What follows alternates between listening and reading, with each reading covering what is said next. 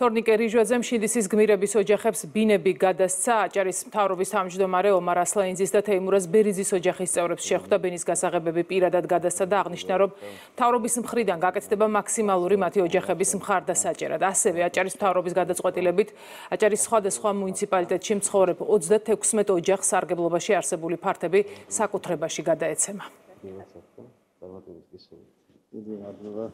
ყველაფერს ვცდილობთ რომ თითოეულ თქვენგანს თითოეული გმირის ოჯახს მაქსიმალური მხარდაჭერა კონდეს მივიღეთ გადაწყვეტილება რომ თქვენს ოჯახებს გადმოეცემა საცხოვრებელი ბინები ბათუმში ორივე ოჯახს და შესაბამისად მინდა გისურვოთ ბედნიერი ცხოვრება. იმედი მომეცა რომ ნამდვილად, ნამდვილად შეფასებული იქნება, ნამდვილად ყვაწლით მისი დაფასებული იქნება და მისი დაღვრილის სისხლი უკვალოდ, უშედეგოდ არ იქნება ჩავლილი.